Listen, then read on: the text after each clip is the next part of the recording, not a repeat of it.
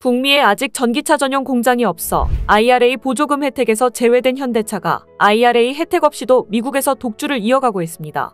글로벌 시장 조사기관 EV 볼륨스에 따르면 올해 1월 현대차, 기아의 미국 전기차 판매량은 총 4,400여 대로 작년보다 무려 2배 넘게 팔렸는데요. 상품성을 인정한 소비자들이 보조금에 상관없이 아이오닉 5를 산다는 의미로 테슬라를 비롯해 IRA 혜택을 받는 기업들이 가격 인하에 나서고 있음에도 현대차가 아랑곳하지 않고 견조한 실적을 이어가고 있는 겁니다. 그런데 이런 불리한 영업 환경 속에서도 제네시스 GV70은 미국 신차 시장에서 가장 많은 프리미엄이 붙어 판매되고 있다는데요. GV70의 폭발적인 인기로 사려는 사람은 많은데 공급 물량이 부족하자 벤츠, 포르쉐보다 웃돈을 더 얹어줘야 살 수 있을 정도라고 합니다. CNBC에 따르면 GV70은 미국에서 정가가 44,300달러지만 실제로는 이보다 평균 30%더 비싸게 거래됐습니다. GV70을 찾는 이들이 많아지자 딜러사가 우리 돈으로 평균 1,600만원의 웃돈을 붙여 팔았다는 겁니다. 이와 달리 벤츠 GLB, 포르쉐 타이칸은 각각 24%, 23%가량 웃돈이 붙으면서 미국 내에서 GV70의 폭발적인 인기를 실감케 했습니다. 이런 가운데 최근 현대차도 IRA 혜택을 받을 수 있는 GV70 전동화 모델 생산을 시작했는데 본격적으로 보조금 혜택을 받게 되면 지금보다 더 인기가 폭발할 것 같은데요. GV70 전동화 모델은 IRA에 대응하기 위해 앨라배마주 몽고메리 공장에서 생산하는 첫 모델로 비로소 현대차가 이미 IRA 혜택을 받고 있는 테슬라, 포드 등과 대등한 조건으로 경쟁할 수 있게 됐습니다. 그런데 이런 현대차의 폭주로 도요타의 몰락이 한층 더 가속화되고 있다고 하는데요. 실제로 최근 도요타가 장악하고 있던 시장을 모두 현대차가 먹고 있는 상황으로 이 때문에 도요타가 설 자리를 잃게 되면서 존폐 위기에 있다는 얘기가 나돌 정도라고 하는데 어떤 상황인지 자세히 알아보겠습니다. 세계 신차 판매량 1위라는 도요타가 미국에선 존재감을 찾아보기 힘들 정도로 자취를 감추고 있습니다. 너도 나도 뛰어든 미국 내 전기차 시장 경쟁에 도요타는 2025년부터나 북미에서 전기차 생산을 시작할 거라고 알리면서 한참이나 뒤처지고 있기 때문입니다. 실제로 도요타는 전기차 분야에서 두각을 나타내지 못하고 있는데 최근 도요타는 내후년에야 미국에서 전기차 생산을 시작하겠다며 뒷북을 쳤습니다. 니케이에 따르면 도요타는 전기차 배터리를 생산하는 공장을 노스캐롤라이나주에 신설해 부품 조달부터 완성차 조립까지 생산 과정을 미국에서 수행하는 체제를 구축할 계획이라고 합니다. 지금도 도요타가 전기차 시장에 너무 늦게 뛰어들었다는 평가가 나오는데 그때쯤이면 미국 전기차 시장 내에서 현대차와 테슬라의 입지가 더욱더 두터워져 꽁무니를 쫓기에도 힘들 것 같은데요. 실제로 도요타 내부에서도 전기차 시장에서 뒤처지고 있어 위기의식을 느끼고 있다고 합니다. 얼마 전 취임한 사토 고지 도요타 사장도 전기차 first 발상으로 사업 본연의 자세를 크게 바꿀 필요가 있다며 사업 재편을 예고했습니다. 실제로 작년에 도요타가 세계 시장에서 판매한 전기차는 2만 4천 대로 연간 1천만 대의 신차를 파는 걸 고려하면 미미한 수치입니다. 그런데 정작 도요타가 인식하지 못하고 있는 가장 중요한 무언가가 있는데 바로 한국 때문에 도요타의 위기가 가속화되고 있다는 사실입니다. 실제로 최근 현대차는 일본이 장악한 인니 자동차 시장을 적극 공략하고 있는데 특히 아이오닉 5를 현지에서 생산하며 전기차 시장을 무섭게 이끌고 있는 중입니다. 작년 3월에 준공된 북카시에 위치한 인니 현대차 공장에선 연 15만 대가 생산되고 있는데 이를 3년 안에 25만 대까지 끌어올리는 게 현대차의 계획입니다. 이렇듯 생산량을 기하급수적으로 늘리고 있는 건 인니에서 현대차의 인기가 예상보다 더 폭발적이기 때문입니다. 지난달 인니에서만 아이오닉 5가 213대 판매됐는데 현재 전체 전기차 판매의 절반 이상을 차지하며 시장 점유율을 서서히 끌어올리고 있습니다. 실제로 현재 아이오닉 5 출고를 기다리는 인니에 있는 대기 고객만 4천명에 육박하는 것으로 알려지는 등 전기차를 게임 체인저로 한 현대차의 위세가 정말 어마어마합니다.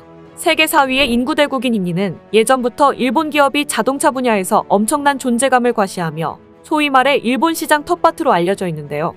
실제로 도요타와 혼다 등 완성차 제조사의 현지 시장 점유율이 70% 이상이라 우리 기업 입장에서는 인니 시장이 난공불락처럼 보였습니다.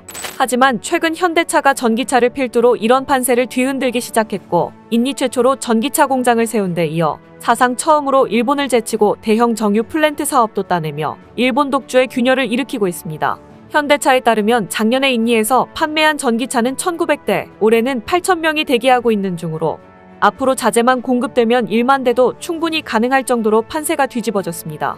이뿐 아니라 최근엔 현대 엔지니어링이 일본이 30년 동안 독점해온 인니 플랜트 사업을 최초로 그것도 최대 규모의 정유 공장을 수주하며 새로운 역사를 썼는데요.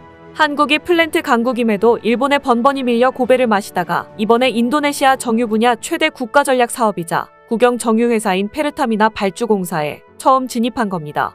전체 사업 계약 금액 5조 8천억 원 가운데 현대 엔지니어링이 70%를 따냈는데 네덜란드가 인니를 식민 지배할 때 세운 원유 정제 설비를 고도화시키고 공장의 개보수까지 책임지는 초고난도 사업입니다. 이렇듯 현대 엔지니어링의 수주는 인니 국영 정유 회사인 페르타미나 발주 공사에 국내 기업이 처음으로 진입했다는 점에서 의미가 남다른데요.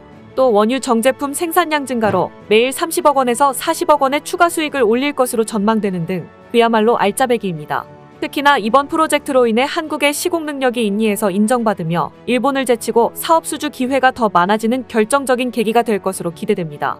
인니는 37억 배럴의 원유를 보유한 세계 22 산유국이지만 정유 시설이 부족해 60%밖에 활용하지 못하고 있어 한국에겐 무한한 기회의 땅이 될 수 있습니다. 실제로 추후 인니 국책 사업으로 정유 공장 개선 사업과 더불어 공장 신설 사업이 추진될 예정인데 현대 엔지니어링을 비롯한 국내 기업들에게 수주 기회가 있을 것으로 보입니다. 이렇듯 인니 자동차 시장과 플랜트 시장 내에서의 일본의 입지가 한국 기업으로 인해 엄청난 균열이 가고 있는 상황인데요. 이 기세를 몰아 최근 현대차는 장기적으로 인니를 중요한 생산 거점이자 거대한 잠재 시장으로 만들어 과거 일본이 그랬던 것처럼 한국 기업의 텃밭으로 만들겠다는 야심찬 포부를 밝혔습니다. 가까운 미래에 글로벌 경제에서 인니가 차지하는 비중과 위상이 지금과 많이 달라질 수 있기 때문입니다. 현대차가 인니를 중시하게 된 건 먼저 이곳이 전기차의 중요한 생산 거점이기 때문인데 실제로 인니는 전기차 배터리의 핵심 원료인 니켈을 가장 많이 보유하고 있는 국가입니다. 또 생산 거점으로서 인건비가 저렴하다는 장점도 있는데 현재 인니의 평균 월급여는 560달러에서 630달러 정도로 추산됩니다. 여기에 더해 인니는 자카르타에서 누산타라로 수도 이전 계획을 추진하고 있어 도시계획 단계부터 미래 모빌리티를 구축할 수 있는 기회가 열렸다고 할 수 있는데요.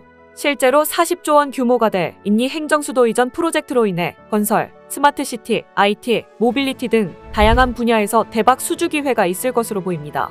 이런 가운데 작년에 현대차는 도요타, 폭스바겐에 이어 전 세계 판매량 3위 완성차 업체에 등극하면서 사상 처음으로 빅3에 진입하게 됐는데요.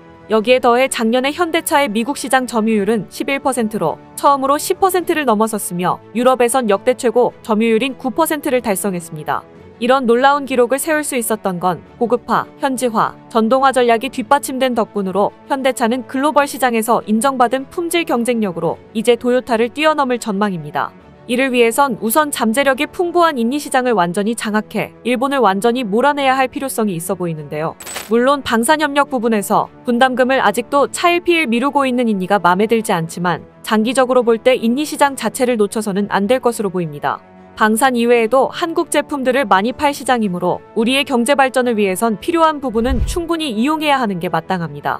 더구나 올해부터 한 인도네시아 CEPA 발효로 양국 간 교역이 본격화될 예정이라 인구 대국이 보여줄 소비 분야에서의 기회 창출을 가만히 두고만 볼 수 없기 때문인데요.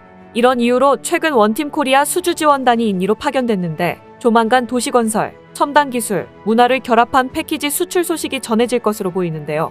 앞서 인니 정부에서 먼저 한국의 모든 것을 수출해주길 바란다며 적극적인 협력 요청이 있었기 때문입니다.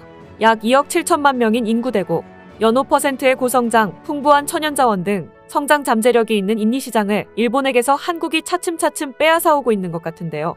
일본 기업이 인니 시장에서 완전히 몰락하고 그 자리를 한국이 대신하는 일이 머지않은 것 같습니다.